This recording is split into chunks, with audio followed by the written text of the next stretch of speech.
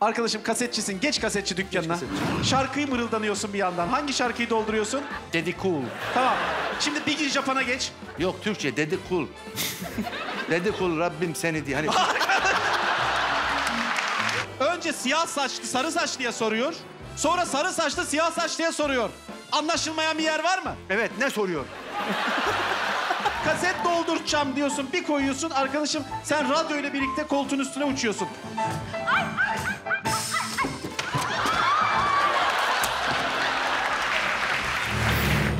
Talk Show yeni bölümüyle cumartesi akşamı Fox'ta.